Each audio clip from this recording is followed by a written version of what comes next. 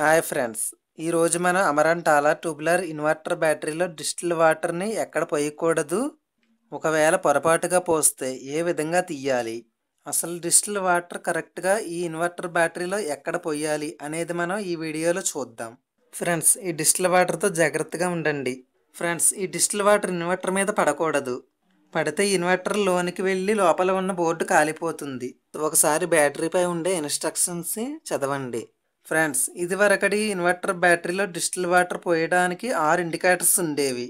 ఆ indicators digital water level చూపించడంతో పాటు ఆ ఇండికేటర్స్ని ఓపెన్ చేసి డిజిటల్ వాటర్ని పోసేవాళ్ళం. కానీ మనలో కొంతమంది అదే అలవాటున ఈ అమరాంటాల ట్యూబులర్ బ్యాటరీ యొక్క సింగిల్ ఇండికేటర్ను ఓపెన్ చేసి దానిలో డిజిటల్ వాటర్ని పొరపాటున పోయడం జరుగుతుంది. కానీ అలా డిజిటల్ వాటర్ని పోయకూడదు. దానివల్ల బ్యాటరీ డ్యామేజ్ అవుతుంది. ఒకవేళ పొరపాటున పోస్తే ఆ డిస్టిల్ వాటర్ని ఏ విధంగా తీయాలి అనేది ఇప్పుడు చూద్దాం. ఫ్రెండ్స్ ముందుగా మనం ఇటువంటి ట్వంటీ ఎంఎల్ సిరంజిని తీసుకుని దీనికి ఈ విధంగా ఒక స్ట్రాండ్ దారం సహాయంతో అమర్చి సిద్ధం చేసుకోవాలి. ఈ ట్వంటీ ఎంఎల్ సిరంజ్ మెడికల్ షాప్లో లభిస్తుంది. దీని ఖరీదు ఇరవై రూపాయలు ఉంటుంది. ఫ్రెండ్స్ మనం ఇప్పుడు ఇక్కడ ఉన్నటువంటి ఈ సింగిల్ ఇండికేటర్ని ఓపెన్ చేసి మనం ముందుగా సిద్ధం చేసుకున్నటువంటి సిరంజి సాయంతో మనం పొరపాటున ఎంత అయితే ఎక్సెస్ వాటర్ని ఈ సింగిల్ ఇండికేటర్లో పోసామో అంత ఎక్సెస్ వాటర్ని ఇలా ఈ విధంగా సిరంజి సాయంతో నెమ్మదిగా మనం పోసిన ఎక్సెస్ వాటర్ మొత్తం తీసివేయాలి.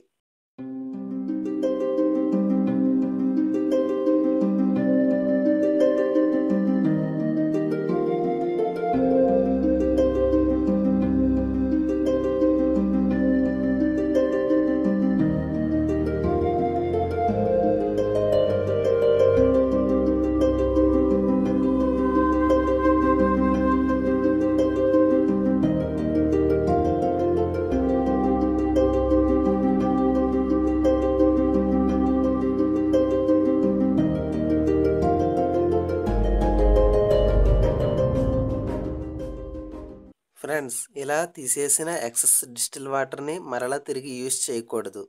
ఆ వాటర్ని బయట పారవేయాలి లేదా పాకుడు పట్టిన చోట పోస్తే పాకుడు పోతుంది. ఇలా పొరపాటున పోసిన ఎక్సెస్ డిస్టిల్ వాటర్ని తీసివేసిన తర్వాత బ్యాటరీ ఇండికేటర్ని తిరిగి క్లోజ్ చేయాలి.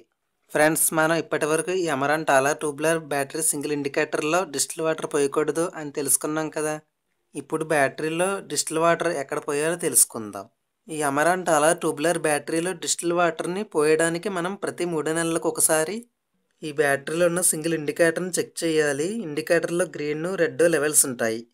ఇండికేటర్ గ్రీన్ లెవెల్ వద్ద ఉంటే డిస్టిల్ వాటర్ పోయని అవసరం లేదు. ఒకవేళ గ్రీన్ లెవెల్ కన్నా తగ్గిన రెడ్ లెవెల్ వద్ద ఉన్న తప్పనిసరిగా డిస్టిల్ వాటర్ని పోయాలి. ఇప్పుడు ఈ బ్యాటరీలో వాటర్ ఇండికేటర్ గ్రీన్ లెవెల్ కన్నా క్రిందికి ఉంది కాబట్టి డిస్టిల్ వాటర్ని పోయాలి. బ్యాటరీలో డిస్టిల్ వాటర్ని పోయడానికి ముందు బ్యాటరీ యొక్క పైభాగాన్ని ఒక పొడిగుడ్డతోటి క్లీన్ చేయాలి.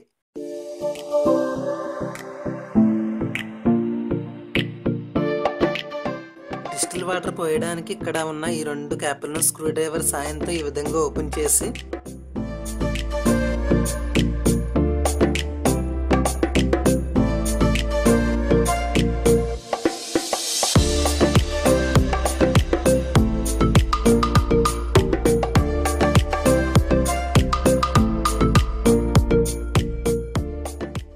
వీటిలో ఉన్న ఈ ఆరు హోల్స్లలో డిస్టిల్ వాటర్ని మాత్రమే పోయాలి ఫ్రెండ్స్ డిస్టిల్ వాటర్ని ఫిల్ చేసేటప్పుడు బ్యాటరీలో ఉన్న మొత్తం ఆరు హోల్స్లలో సమానంగా వాటర్ ఫిల్ చేయాలి. ప్రతి ఒక్క హోల్ని ఫిల్ చేసేటప్పుడు రెండు అంగుళాల ఖాళీ ఉంచాలి. ఫ్రెండ్స్ ఇంతకు ముందు మనం ప్రతి మూడు నెలలకు ఒకసారి బ్యాటరీ సింగిల్ ఇండికేటర్ని చెక్ చేయడం ద్వారా డిస్టిల్ వాటర్ని ఫిల్ చేయాలి అని చెప్పాను కదా. ఒక్కోసారి ఈ సింగిల్ ఇండికేటర్ సరిగ్గా పనిచేయకపోవచ్చు. అందువల్ల ప్రతి మూడు నెలలకు ఒకసారి ఈ సింగిల్ ఇండికేటర్తో పాటుగా ఇక్కడ బ్యాటరీకి ఉన్న ఈ ఆరు హోల్స్లలో ప్రతి హోల్లోని వాటర్ లెవెల్ చెక్ చేయాలి. ఎన్ని హోల్స్లలో అయితే వాటర్ లెవెల్ రెండు అంగుళాల మించి తగ్గిందో అన్ని హోల్స్లో ప్రతి ఒక్క హోల్లో రెండు అంగుళాలు ఖాళీ ఉంచి డిస్టిల్ వాటర్ పోయాలి. ఫ్రెండ్స్ ఇలా ఒక వాటర్ బాటిల్ని గరాట్లో కట్ చేసి దీని మూతకు ఒక బెజ్జం పెట్టి ఈ విధంగా సిద్ధం చేసుకోవాలి. ఇప్పుడు డిస్టిల్ వాటర్ని ఫిల్ చేద్దాం. ఇప్పుడు ఈ వాటర్ బాటిల్ గరాట్ని యూజ్ చేసి మనం ఈ విధంగా డిస్టిల్ వాటర్ని స్లోగా వలికిపోకుండా మొత్తం ఆరు హోల్స్లలో సమానంగా నింపాలి. ఫ్రెండ్స్ డిస్టిల్ వాటర్ని ఫిల్ చేయడానికి మామూలు గరాట్ని కూడా యూజ్ చేయవచ్చు.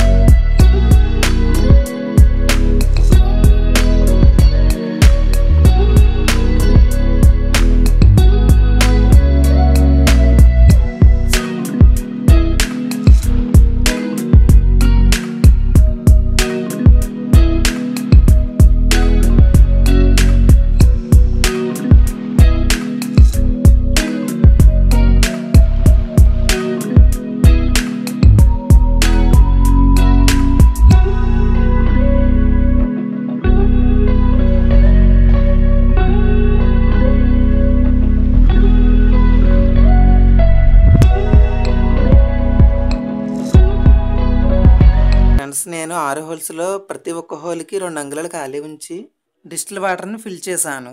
అలాగే ఇండికేటర్ కూడా గ్రీన్ లెవెల్ వద్దకు వచ్చింది. కాబట్టి డిస్టిల్ వాటర్ పోయడం పూర్తయింది. ఇప్పుడు ఈ హోల్స్ పై ఉండే ఈ రెండు క్యాప్స్ని పెట్టి ఈ హోల్స్ని క్లోజ్ చేయాలి. ఫ్రెండ్స్ నేను ఈ ప్రాసెస్ మొత్తం ఇన్వర్టర్కి వచ్చే పవర్ సప్లైని అలాగే ఇన్వర్టర్ యొక్క స్విచ్ని ఆఫ్ చేసి చేశాను. ఆన్ చేసి ఉన్నప్పుడు కూడా ఈ ప్రాసెస్ చేయొచ్చు. ఫ్రెండ్స్ స్విచ్ ఆన్ చేసి ప్రాసెస్ చేసేటప్పుడు బ్యాటరీ పాజిటివ్ అండ్ నెగిటివ్ టెర్మినల్స్ని ముట్టుకోకూడదు. ఫ్రెండ్స్ డిజిటల్ వాటర్ పోసిన వెంటనే కరెంటు పోయినట్లయితే మరలా తిరిగి కరెంటు వచ్చే వరకు ఇన్వర్టర్ మీద పడే లోడును వీలైనంత వరకు తగ్గించి వాడండి.